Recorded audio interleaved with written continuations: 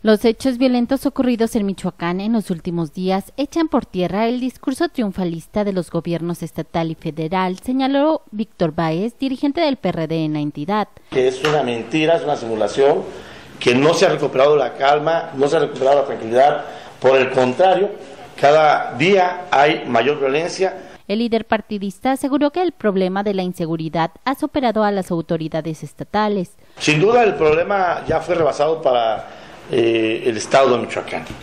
El gobierno del Estado no puede con esta eh, problemática. Reclamó la presencia del presidente Enrique Peña Nieto, a quien señaló de mantener a la entidad en el olvido.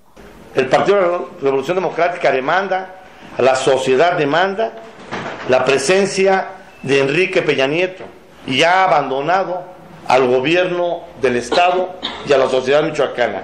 Víctor Báez dijo que el ambiente en el estado se agrava porque las autoridades estatales y federales no tienen proyectos firmes de combate a la inseguridad. Con información de Fátima Paz, informa Cuasar TV.